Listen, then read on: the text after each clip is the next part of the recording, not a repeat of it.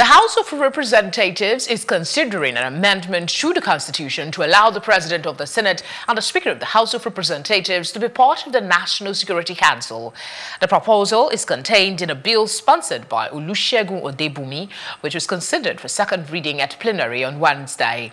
Members who spoke on the bill said National Assembly leadership, leaders membership of the NSC NSC would allow legislative input on security matters, policies and programs.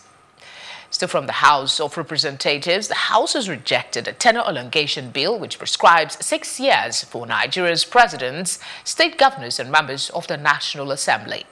The bill, which was sponsored by John Dyegh from Benue State, aims to amend the nation's constitution in order to cure ambiguities noticeable in a four-year single tenure and provide enough time for elected officials to impact on the electorates.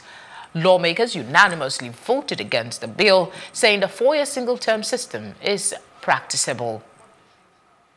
If you go to other climes, Your Excellency, honorable colleagues, like the U.S., you see somebody in a particular committee staying 25 years.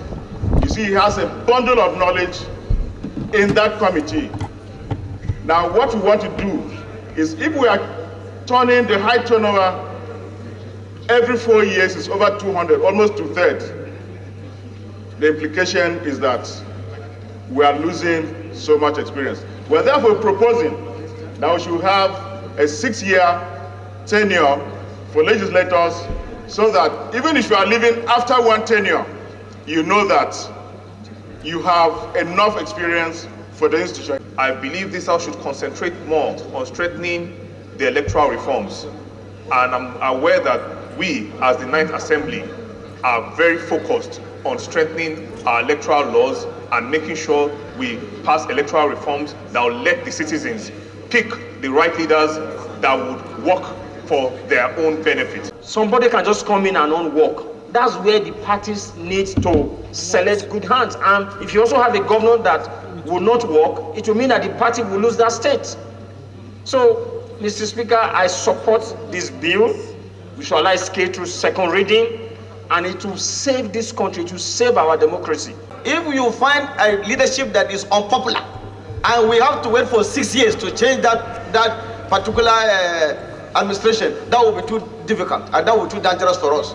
And if the man in his own way, Nigeria way, is able to manipulate another six years, uh, next time another person takes over and it's six years, then we are really in trouble. As much as possible to save the situation, and uh, as a presiding officer, at this stage, I cannot allow the opportunity because we have gone beyond that. The question now is that those in favor of the bill be read the second time, say aye. Those against say nay. Yeah. then they serve it.